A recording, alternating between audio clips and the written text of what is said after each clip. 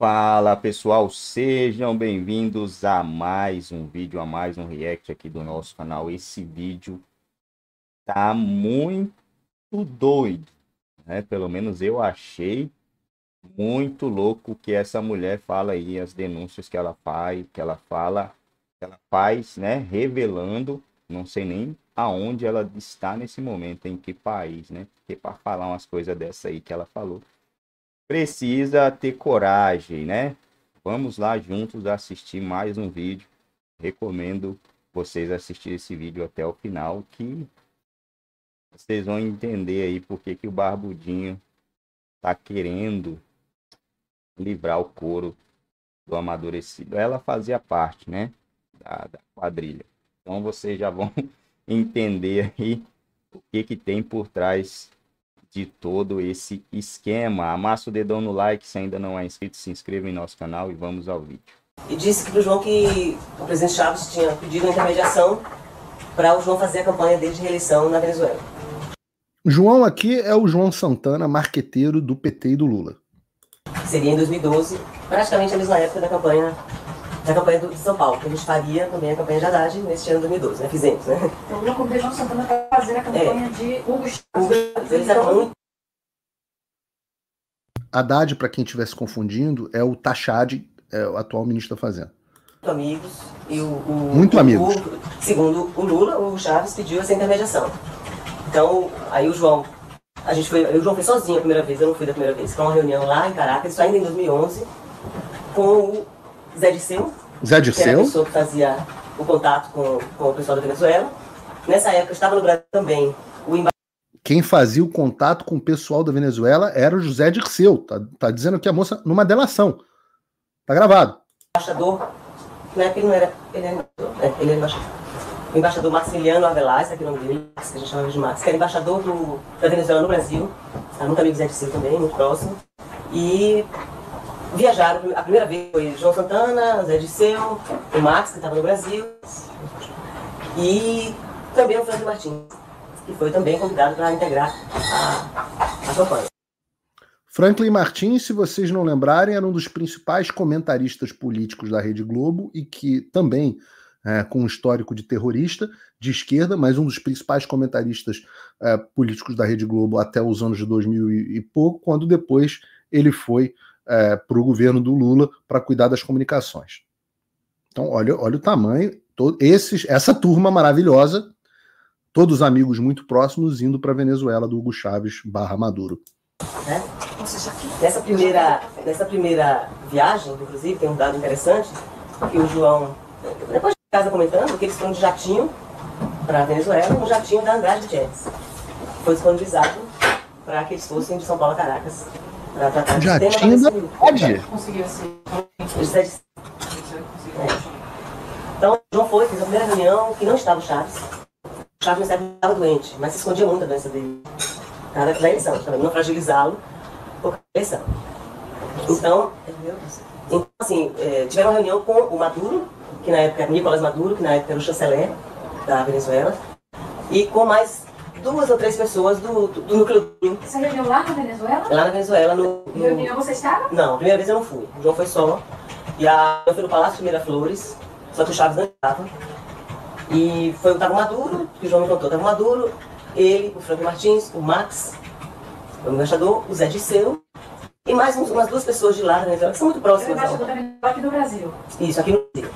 Ele era na época, hoje ele não é mais, eu acho. Ele continua no governo lá, mas ele tem outro cargo, não sei qual.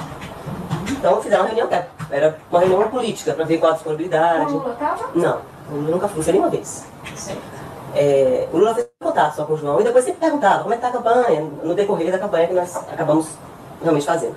Voltou para o Brasil e aí eu aceitei fazer a campanha na Venezuela. Eu quase tive um ataque cardíaco também, porque era muita coisa. Nossa, nossa, naquele ano, o famoso ano que a gente fez quatro campanhas. Sim, eu sempre tiro quatro Quais foram as campanhas? A gente fez no início do ano Dominicana, que acabou em maio a eleição, mas 2012 também.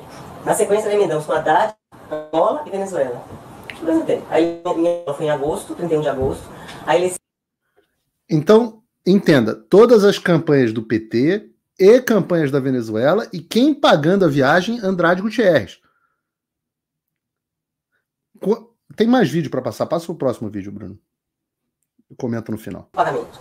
Eles, na segunda reunião que eu tive já com Maduro, sempre participava, e esses dois ministros, me disseram que a, a Odebrecht ia pagar uma parte, fazer uma colaboração para a campanha do Chaves. O Maduro. Ele me disse, olha, a Odebrecht vai pagar uma a Odebrecht, eu só estou relembrando aqui, a Odebrecht, a mesma que pagava propina para o PT, Andrade Gutierrez, a mesma que pagava propina para o PT, ia pagar uma parte. Uma parte, e Andrade Gutierrez também vai colaborar. Aí eu falei, tá, e a outra parte eu pago aqui, você paga aqui comigo. Então, a outra parte é você paga aqui no Brasil.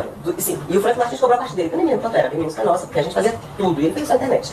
Mas ele cobrou, eu acho, se eu não me engano, foi 8 milhões de dólares ou 10 milhões de dólares a parte dele. 8 milhões de dólares. O Franklin Martins, se eu não me engano, comprou 8 milhões de dólares. Eu sei disso por quê? Porque quando a gente foi acertar de receber dinheiro, o Maduro falou pra mim o seguinte, olha, você vai receber dinheiro comigo. E eu não quero ficar pagando todo mundo, assim, muita gente. Eu não quero esse contato com muita gente.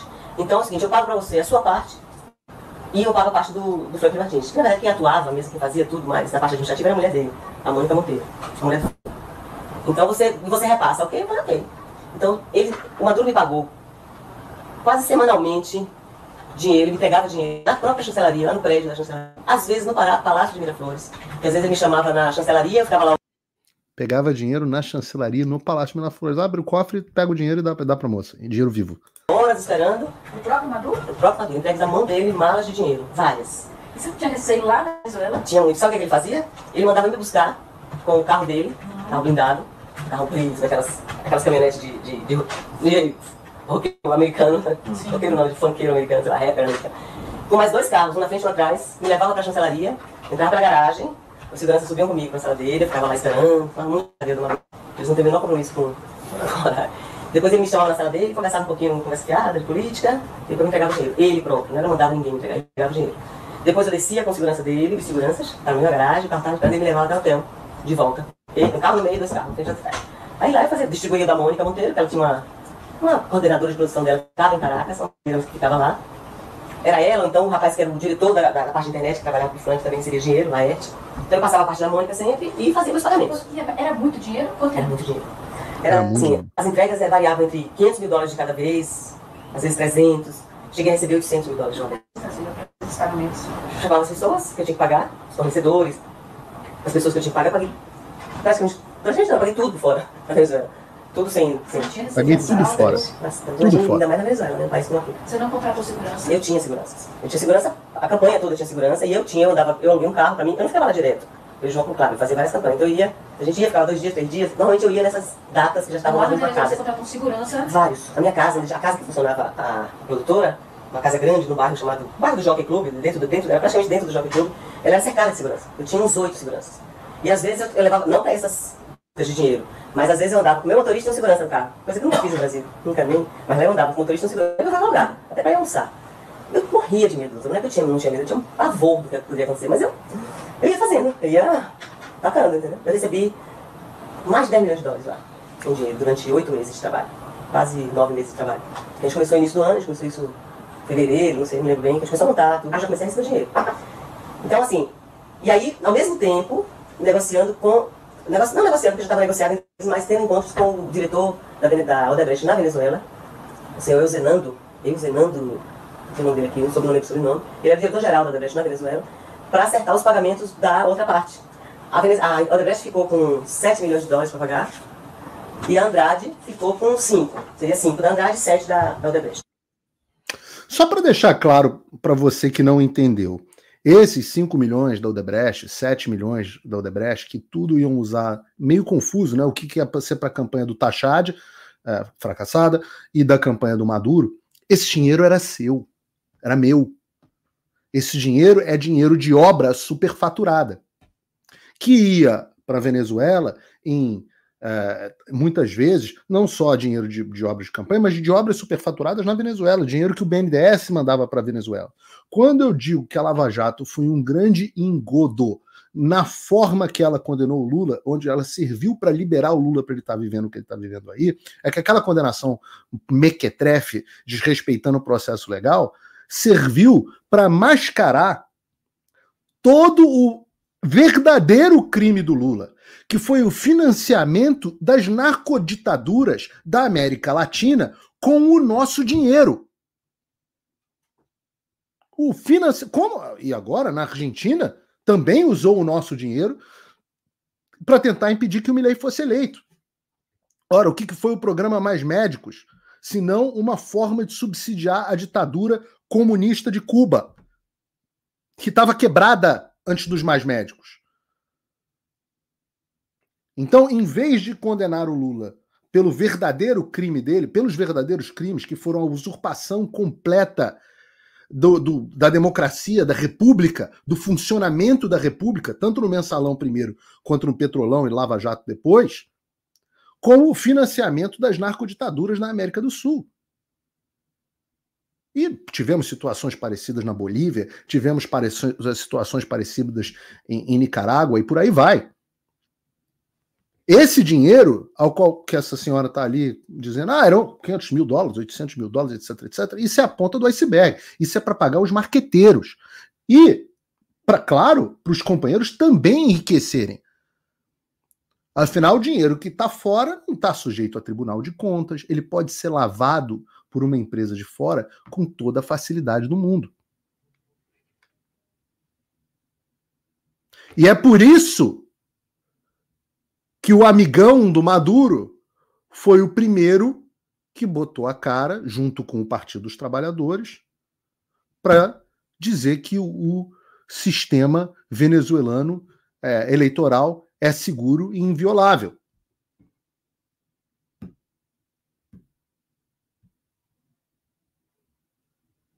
Tá aí. Dirceu parabeniza Maduro e diz que o sistema eleitoral da Venezuela é seguro e inviolável. Claro, são parceiros no crime. E esse homem dá entrevistas livremente, fala nas redes sociais, como se não houvesse amanhã.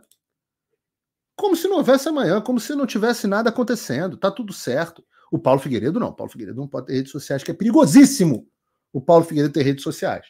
Precisa ter shadow ban. Mas o Zé Dirceu, não. O Zé Dirceu, Zé Dirceu tem algum problema para acessar as redes sociais dele? O homem que a gente tem a delação aqui dizendo que era o amigão do ditador da Venezuela, que trabalhou o financiamento da ditadura da Venezuela com dinheiro do PT, desviado do nosso dinheiro do contribuinte. Eu não gosto desse termo contribuinte, gosto do pagador de impostos. Aí esse homem é o que bate no peito para dizer seguro inviolável igualzinho ao do Brasil. Os mesmos termos. É o mesmo homem que diz que o sistema do Brasil é seguro e inviolável, diz que o da Venezuela é seguro e inviolável. Logo, o sistema brasileiro é como o da Venezuela.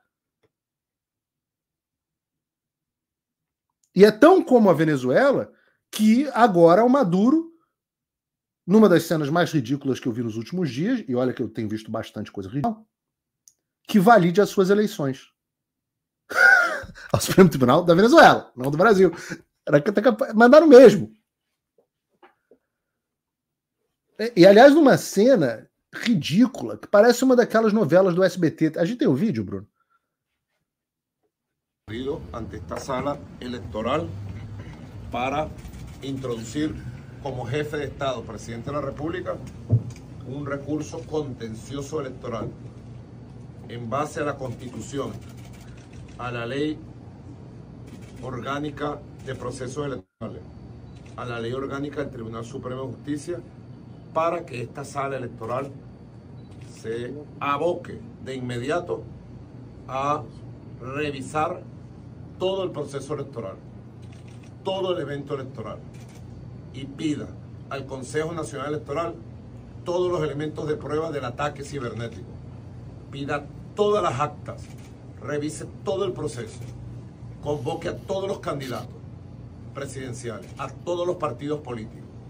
Y le puedo decir que los, el gran polo patriótico y el Partido Socialista Unido de Venezuela, quien también represento, está listo para consignar ante esta sala las originales de las verdaderas actas, mesa por mesa, cuando sea requerido. Y dejo entonces en manos de la sala electoral la resolución constitucional. Reparem a cara das pessoas. Tem como aumentar um pouquinho isso aí, Bruno? A cara das pessoas é demais. Olha a cara da moça. É muito ridículo, meu Deus do céu.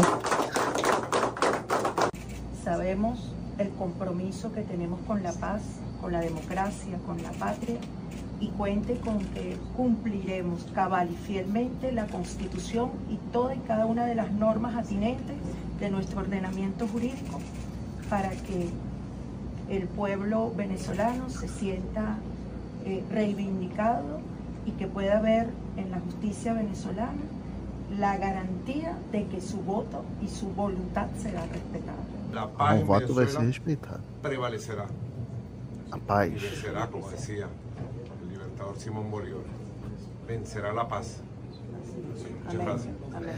É, é, paz, democracia, voto, povo, é, é, é, são só chavões sendo é, repetidos, o, o flatus voces, como o, o Olavo de Carvalho costum- costumava dizer, porque não tem significado. É simplesmente um peido verbal sendo emitido. né? E, e e é tudo muito ridículo, como aliás eu disse no último programa, porque é a mesma história. Mas se torna ridículo porque o Maduro tenta reproduzir a conselho do Lula, como a gente acabou de ver, a narrativa sofisticada que o Lula tem, né? Mas com um grau de sofisticação muito mais baixo. Então é como se fossem os efeitos especiais de um episódio de Chaves. Não, não Chaves com Z, mas Chaves com S, aquele seriado que a gente que eu cresci assistindo. Então o filme é o mesmo. A narrativa é a mesma, é a que o Lula está falando para ele. Você precisa ter uma narrativa melhor. Mas você tem a produção americana, das eleições americanas, com aquele super produção, com toda a CNN, com a Fox News envolvida, com todo mundo, que teve um padrão americano, Hollywood de fraude. A produção brasileira já teve um padrão meia-boca, aquele padrão Projac. Bom, pessoal, é isso aí. Não esqueça de deixar o seu comentário. E se ainda não for inscrito, ajuda a gente a crescer aqui na plataforma. A gente já cresceu muito.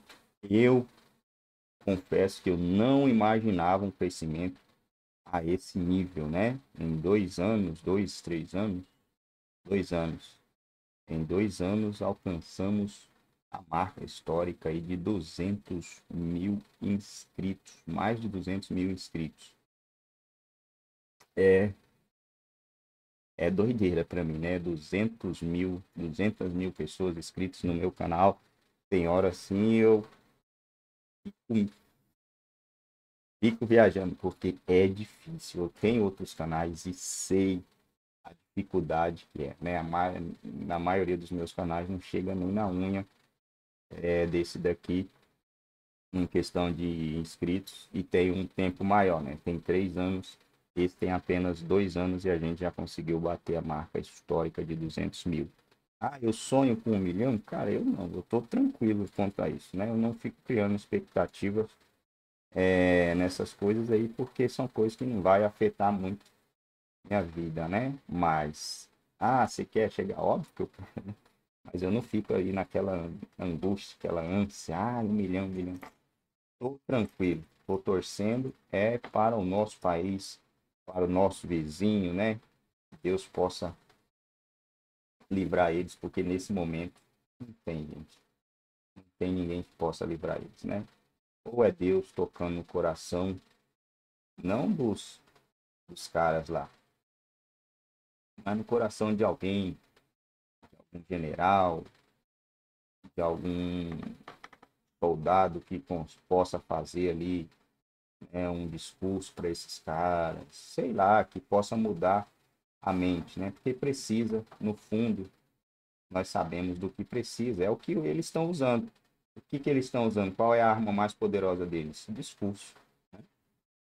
Então você precisa combater com discurso precisaria ter alguém de coragem para trazer esse discurso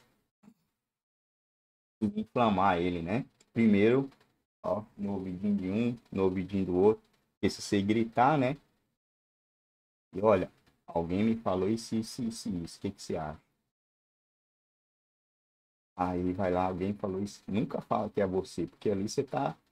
É uma estratégia de, de, de guerra, né? Uma guerra de informação. Tá em uma estratégia. Aí vai, leva em um, leva em outro, leva em, leva em outro.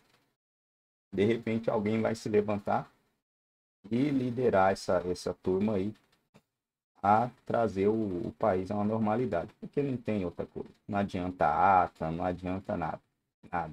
Já vimos aí que não vai adiantar nada e que o barbudo vai defender com unhas e dentes, porque ele é da mesma laia, né? Faz parte da mesma quadrilha. Então, um, o cara faz parte da quadrilha. O que de acho de motivo eu vou achar que ele não vai compactuar com o que aconteceu lá. E nesse mesmo desse mesmo jeito, o que vai me dizer que o que aconteceu lá não aconteceu aqui? Porque o negócio aqui foi foi bem suspeito, muito suspeito, né? Mas muito, só que não tão igual lá. É aqui, pelo menos as pesquisas indicavam o barbudinho, né? Inclusive pesquisas até é, de direito indicavam o Barbudinho. Mas no final diz que teve uma virada, uma reviravolta. As narrativas também endossaram, né? As pessoas mudarem de ideia.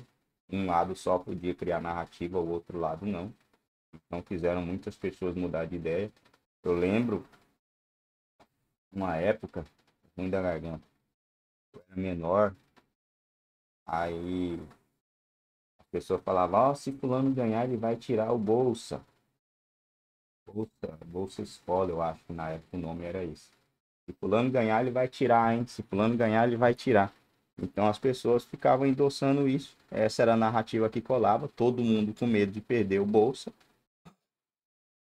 Acabava e continuava com o mesmo, né? É ali em Fernando Henrique. Não sei mas que eu me lembro desse, desse acontecimento aí, eu me lembro. Se fulano ganhar, vai tirar, se fulano... Na verdade, não foi só na época do Fernando Henrique, né?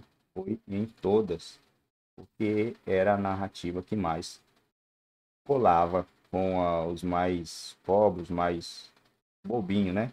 Se hoje, com toda essa tecnologia, a gente tem muita gente boba, imagina antigamente, né, gente? O negócio era mais feio ainda. É mais complicado ainda. Bomba que matou o chefe do Hamas estava escondida em sua casa há dois meses. Caramba! Você tá maluco? Infiltrado. É só assim, gente. Infiltrado. Não adianta falar que não tem infiltrado, que tem. Para derrubar esse tipo de situação aí, é só com pessoas infiltradas, né? Inclusive o atentado que a gente viu recentemente aí, podem falar o que quiser, né? Cada um pensa o que quiser pensar.